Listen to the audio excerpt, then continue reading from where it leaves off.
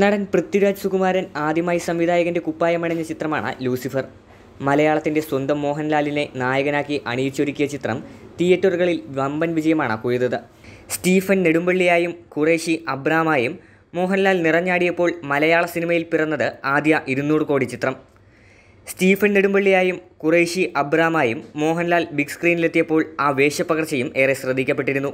വെള്ള ഷർട്ടും വെള്ളമുണ്ടുമായിരുന്നു സ്റ്റീഫന്റെ വേഷമെങ്കിൽ കറുത്ത കോട്ടും സ്യൂട്ടും കൂളിംഗ് ഗ്ലാസും ഒക്കെ ധരിച്ച മരണമാസ് ലുക്കിലായിരുന്നു കുറേഷി അബ്രാം എത്തിയത്.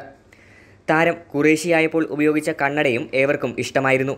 ഇപ്പോഴിതാ ആ കണ്ണട പൃഥ്വിരാജിന് സമ്മാനിച്ചിരിക്കുകയാണ് മോഹൻലാൽ. പൃഥ്വി തന്നെയാണ് ഇക്കാര്യം തന്റെ ഇൻസ്റ്റാഗ്രാം പോസ്റ്റിലൂടെ അറിയിച്ചത്. കുറേഷി അബ്രാം നിങ്ങൾക്ക് ഏറ്റവും മികച്ചത് സമ്മാനിക്കുമ്പോൾ എന്ന കുറിപ്പോടെയാണ് പൃഥ്വി വിവരം പങ്കുവച്ചത്. ഇപ്പോൾ ആരാധകർക്ക് അറിയേണ്ടത് ആ കണ്ണടയുടെ വിലയാണ്. കണ്ണടയുടെ വില തേടിയുള്ള പരക്കം പാച്ചിലാണ് സോഷ്യൽ മീഡിയ. ഒരു ലക്ഷത്തിന് പുറത്താണ് കണ്ണടയുടെ വില എന്നാണ് മിക്കവരും പറയുന്നത്. പൃഥ്വിരാജിന്റെ രണ്ടാം സംവിധാന സംരംഭമായ ബ്രോഡാഡിയിലും മോഹൻലാൽ തന്നെയാണ് നായകൻ. മോഹൻലാൽ ആദ്യമായി സംവിധാനം ചെയ്യുന്ന ബറോസിൽ പൃഥ്വിരാജും അഭിനയിക്കുന്നുണ്ട്. News desk Kalakaumudi.